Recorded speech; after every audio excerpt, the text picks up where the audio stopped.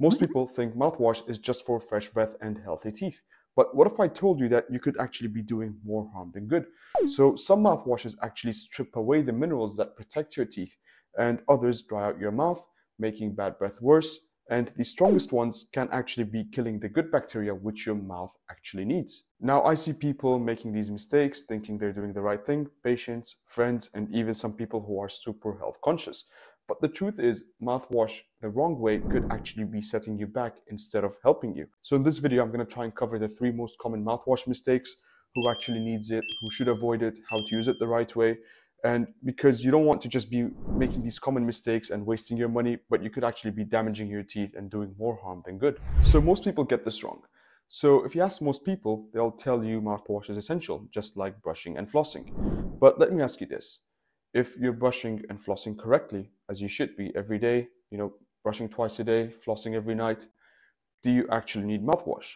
And the answer is probably not, because this is exactly where people go wrong. Millions of people use mouthwash incorrectly, thinking it does things that it doesn't do. So first, let's try and get a few things straight and let's clear up some of the most common myths about mouthwash. So I've seen a lot of people believe that mouthwash can actually replace brushing and flossing, now, the thing is, mouthwash cannot remove plaque. And the only thing that can remove plaque is brushing and flossing. So if you're relying on mouthwash to remove the plaque, you're leaving the bacteria and the plaque on your teeth behind. And the other myth I see people fall for is thinking that if they have a strong mouthwash, it can actually be better. And the thing is, alcohol-based mouthwash or many of these sort of strong mouthwashes, what they do is they kill all the bacteria in your mouth, including the good ones. And we need some good bacteria as well, because what happens is if you kill all the bacteria, you're actually disrupting the oral microbiome.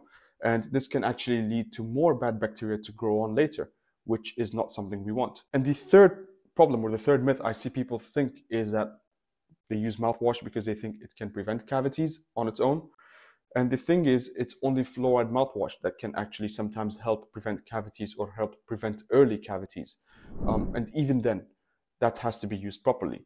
That's not replacing the brushing and the flossing. So many mouthwashes, in fact, don't contain fluoride at all. The other mistake I see a lot of people do, and that shouldn't be happening, is they rinse immediately after brushing. So a lot of people would use a mouthwash after brushing, especially if you're using a fluoride toothpaste. What happens is you end up washing all the good stuff from the fluoride. You end up washing all the protective benefits of fluoride. And fluoride essentially needs time. It needs about 30 minutes to work on your teeth. And if you're using mouthwash right after brushing, you're pretty much washing away all the fluoride or all the good effects from the toothpaste. And actually, some people should never be using mouthwash daily. And I'll explain why in just a minute. Now, mouthwash can actually be useful, but only when you understand why you need it and what it does and what it doesn't do. So the first thing or the most common thing people would use mouthwash for is because they think it's going to freshen their breath. And yes, it can help, temporarily. So if you have chronic bad breath, if you have you know underlying conditions like dry mouth, gum disease, digestive problems, mouthwash alone doesn't fix it. It can sometimes mask the issue, but it's not going to help clear the chronic or the main reason of the bad breath. And another benefit, uh, but that's only usually when we prescribe it as dentists, um, is it can help reduce gum inflammation. Um, and that's only used for a temporary period of time. So it's a prescription mouthwash, uh, something like chlorhexidine, um, and that can sometimes help with gum disease. But if you're using them for a long period of time, it can actually have negative effects. So it can, for example, stain your teeth and it can even disrupt your oral microbiome. And sometimes think of mouthwash as like spraying an air freshener in a dirty room. Does the room smell better? Probably, but the mess is still there. So who actually needs mouthwash? So mouthwash isn't bad. It just necessarily isn't for everyone. But there are a few cases where they can actually help. So if you have gum disease, and these are prescriptions which we prescribe as dentists, um, so they don't replace the fact of brushing and flossing, but sometimes they can help with the bacteria and the gum inflammation. The other thing is if you're prone to cavities, sometimes a fluoride mouthwash can help strengthen the enamel, especially uh, if you're at risk of developing uh, cavities or if you're at a higher risk of developing cavities, especially if there's early enamel caries or technically early decay on the tooth that can sometimes be reversed with fluoride or sort of an increase of fluoride. And the other reason is if you have dry mouth. So less saliva means a higher risk of cavities. But the wrong mouthwash can actually make it worse, especially if you're using an alcohol-based mouthwash, because what the alcohol does to your mouth is it ends up drying your mouth even more, increasing your risk of cavities. So what kind of mouthwash should we actually use? So let's try and break it down. So we've got alcohol-based mouthwash and alcohol-free mouthwash. So one of the biggest mistakes we have um, in oral health uh, and as dentists is some people recommend alcohol-based mouthwash and a lot of people would recommend alcohol-free based mouthwash. Um, and the truth, I think, is it depends on your needs. So alcohol-based mouthwash, it can kill bacteria effectively, can make your mouth feel clean. Um, it provides a strong, you know, clean feeling.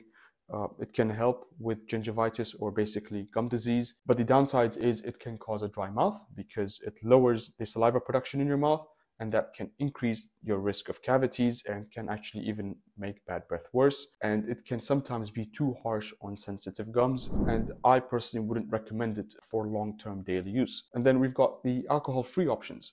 So they can be gentle on your oral tissues. They don't dry out your mouth, so they don't reduce the saliva production in your mouth, so they don't increase your risk of cavities but they might not kill as much bacteria or as aggressively as the alcohol-based mouthwash. Um, and some of them actually lack fluoride, uh, which, as I mentioned, helps prevent cavities. But here's where it gets interesting. Some people shouldn't use mouthwash at all. And if you fall into any of these categories, I suggest you reconsider using it or at least change the way you use it. So people with dry mouth, or the technical word for that is xerostomia, so if you already have dry mouth, an alcohol-based mouthwash, as I mentioned, can actually make it worse. And the dry mouth means less saliva, and the saliva is essential for washing away the food and the bacteria buildup. Without it, uh, you risk cavities. And instead, in these cases, what I suggest using is a moisturizing mouthwash specifically designed for dry mouth. And the other group of people that I suggest don't use a mouthwash are people with sensitive teeth and gums. So mouthwash contains harsh ingredients and that sometimes can cause sensitivity, especially if you have receding gums um, or enamel erosion. And in such cases, I suggest you use a fluoride-based mouthwash in case you need one. Now, the other group of people who I suggest stay away from mouthwash are people who use a chlorhexidine or a chlorhexidine-based mouthwash. And that's because chlorhexidine is a prescription-based mouthwash, which is great for treating gum disease. But if you use it for a long period of time, it can actually stain your teeth or it can even sometimes alter your, uh, your taste perception. So if you've been using it for periods, uh, multiple months, uh, then I suggest speaking to your dentist about that. So if you do use mouthwash, how do you use it correctly? So let's go over the best practices to do so. So if you want to get the most out of your mouthwash, I suggest you follow these simple steps. So the first thing is brushing and flossing are non-negotiable. Mouthwash is not going to replace that. So make sure you get that first. Um, the second thing is why are you using the mouthwash? So make sure you use the right type of mouthwash uh, and know the reason why you're using it. So if you're at a risk of developing cavities, then I suggest using a fluoride-based mouthwash. For gum health, then an antibacterial-based mouthwash. Um, and depending on your dentist, maybe a chlorhexidine-based mouthwash for a short period of time. Or maybe if it's for dry mouth, uh, then you should possibly be looking at an alcohol-free based mouthwash. So choosing the right type can actually make all the difference. And the third step is you should swish for 30 to 60 seconds. So time matters here. If you don't swish for long enough, you're not actually using it properly and you're not going to get the benefits of it. And the fourth thing you should be doing is you shouldn't be rinsing with water afterwards because uh, if you use the mouthwash and then you rinse, uh, with water, then you're basically washing away uh, all the good effects of the of the mouthwash. And the fifth step is you should be waiting at least 30 minutes before eating or drinking, and that's very important, especially if you're using a fluoride-based mouthwash, because the fluoride needs at least 30 minutes so it can sort of get absorbed um, into the enamel. Um, and if you eat or drink too soon, you're basically washing that away. So mouthwash is useful in certain situations, but it's not a magic fix. So if you're brushing, flossing correctly, if you have the right diet, if you're at low risk of developing cavities or if you're at low risk of gum disease, then I would say there's not really a point of using mouthwash. But if you actually still want to use it, make sure you mm-hmm. do it the right way.